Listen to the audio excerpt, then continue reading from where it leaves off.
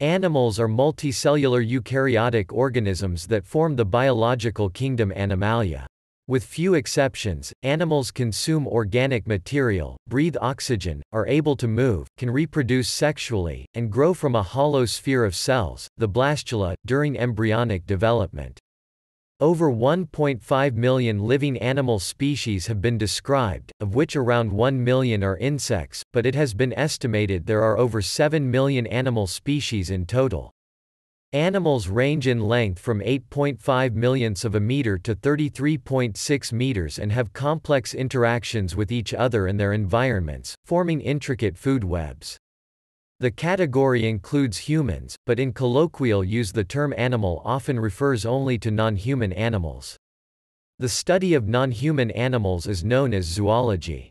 Most living animal species are in the bilateria, a clade whose members have a bilaterally symmetric body plan.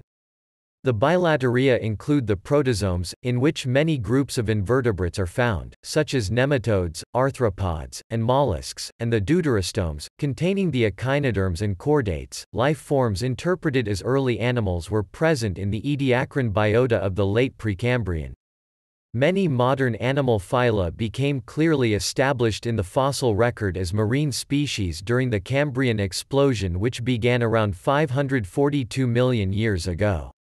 6,331 groups of genes common to all living animals have been identified, these may have arisen from a single common ancestor that lived 650 million years ago.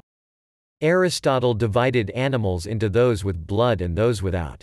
Carl Linnaeus created the first hierarchical biological classification for animals in 1758 with his Systema Naturae, which Jean-Baptiste Lamarck expanded into 14 phyla by 1809.